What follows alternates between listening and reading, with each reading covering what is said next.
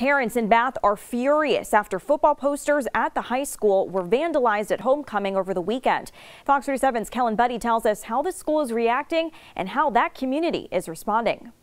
After posters of players on the Bath High School football team were stolen and defaced, people in the community and school officials are wondering who would do such a thing. It's too bad when something like this happens. You know, our, our teams and our school, a lot of pride. Police and the school say the vandalism happened around 2 a.m. Sunday. The posters were found in dumpsters at a nearby apartment complex. Most were too damaged to hang back up. When somebody takes advantage of or destroys some things that you've you've uh, worked hard to get and put up as a point of pride for the school, it's very frustrating.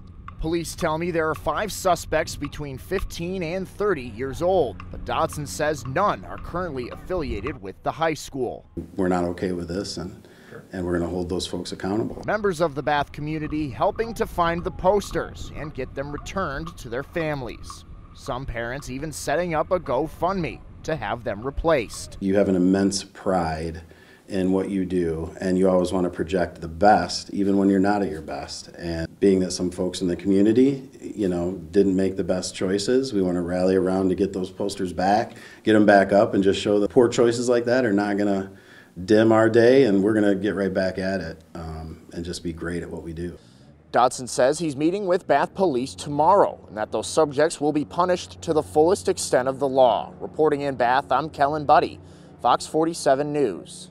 So far, parents have raised over $650 to help replace the posters.